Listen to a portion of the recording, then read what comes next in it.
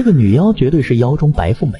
只见她容貌精致又魅惑，身材凹凸有致又修长，舞姿更是妖娆又性感。最重要是全身挂满首饰珠宝，价值肯定超过一个小目标。住的地方还是三百六十度湖景房，风景美得像一幅油墨画。他唯一的爱好就是扯着大嗓门哀嚎，一嗓子下去，经过的路人都会为他着迷疯狂，并献上自己宝贵的生命。但凡事总有例外，这天骑士小帅和他的队友经过了女妖的湖景房。因为实在太渴，就去湖里捧了一口水喝，不想一口下去，咬到了一颗大宝石。小帅高兴坏了。然而此时危险正在靠近，在湖中的女妖看到岸上有这么多帅小伙，就不淡定了，于是忍不住嗷了几嗓子，还跳起了八海。而湖边的骑士们听到女妖的歌声，一下子疯狂起来，纷纷跳入湖中。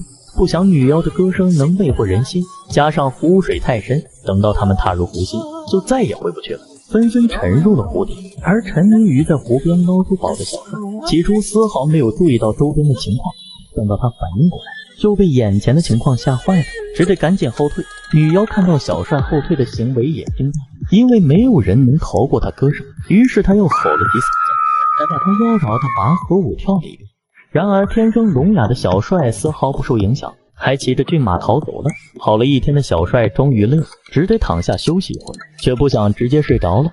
而此时不甘心的女妖俏咪咪的来到了小帅身边，看着小帅长得如此俊美，身材还非常不错，女妖心动了，于是就抱着小帅睡了一晚。早上小帅醒来，看到身边多了个满身珠宝的女人，第一反应就是一把抓住她，但手感实在太丝滑了，让女妖挣脱逃跑了。小帅看着满是珠宝的手心，高兴坏了，这可不能放过这个挣一个亿的机会。于是，一路追赶着女妖，而女妖也被小帅吸引，一边跑路还一边不忘跳着迷人的舞蹈。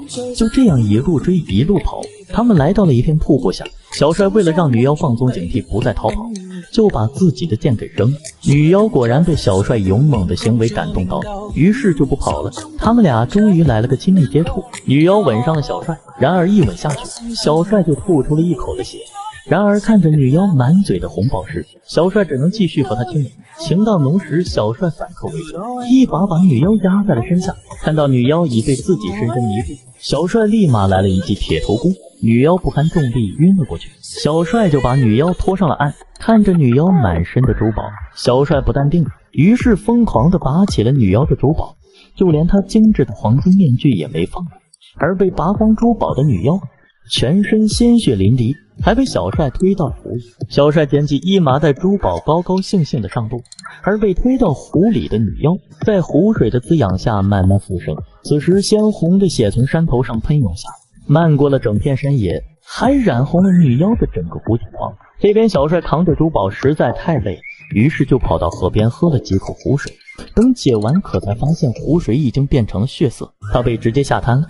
瘫在地上的小帅因为喝了染血的湖水，突然间发现自己的耳朵居然能听见声音了。一下子，山林里所有的声音都涌入他的耳中，这让小帅崩溃了。他不知道发生了什么，也不知道怎么应对。只能拿着剑在山林里狂舞，还不停地砸着自己的耳朵。而此时湖中的女妖已经完美复活，看着自己已经失去所有珠宝的躯体，她痛苦流涕，伤心不已。在她无比绝望的空隙，她看到了岸上那个让她失去一个亿的男人，于是她怒吼起来，并又跳起了他的绝活拔河舞。已经获得听觉的小帅，这次没能逃过歌声的诱惑，在女妖努力的嘶吼下。只得跳着舞步迈入了深湖之中，最后沉入了满身尸体的湖底。故事到这里就结束了。这是网飞动漫神作第三季评分最高的故事，是由奥斯卡获奖导演哈波托米埃构执导。在制作技术上，视觉效果更是达到了超乎想象的写实与戏剧程度。其中人物动作和湖水的流动，与光影的视觉效果都堪称绝佳。但也有网友觉得这个故事剧情很俗套。同样是讲女妖的故事。但有趣程度和深度不及我们国人的《聊斋》。如果让蒲松龄来写，诡异妹歌的黄金女妖爱上了聋哑男骑士，然后双双把家还，男骑士得到了女妖，也得到了黄金，然后在爱情的蛊惑下，女妖不断的撕下自己的金片，并逐渐失去歌喉，成为哑巴，满足骑士花天酒地的日常生活。最终金片殆尽，女妖的爱也消亡。化为人间厉鬼，找男骑士追魂索命，而骑士渐渐被女妖的魂魄侵蚀，变成一只全身长满黄金鳞片的魔鬼。你们觉得，如果故事这么写，会不会更好呢？